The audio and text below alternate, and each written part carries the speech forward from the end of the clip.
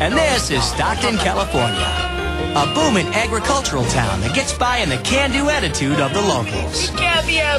Okay, John, calm. down. I'm gonna die. Okay, John, calm down. Unless you're stuck in a sewer, like 11-year-old Jonathan Garza.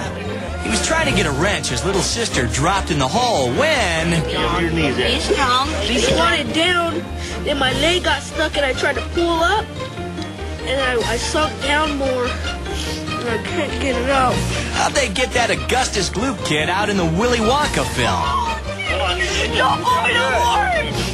Don't pull me no more, please! Don't pull me no more! Here come more firemen. And they brought some liquid soap. I'm scared! Looks like they're gonna grease him up. Don't be scared, just think of it. You'll be out of there in a little bit. Oh, that hurt! That ain't working either. John's best hope now is just to remain calm, but he ain't doing that.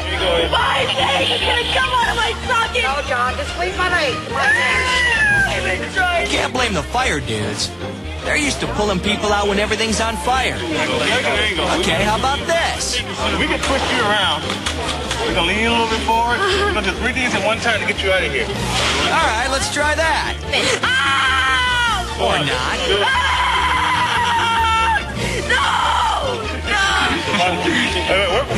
John. John thinks it's all over, but the fire guy knows better. Are we ready, John? Let's one more time. Okay. One, two, three. Ah, no more! Now it's getting dark. They either gotta pull this kid out, or soon Public Works is just gonna pave over him on Monday. You're coming out. No, I'm not! You are. Then, like a hairball from a cat, little Johnny gets uncorked. Thank you, Lord! And after all that time, he wants to know, where's the love? Give me a hug, man.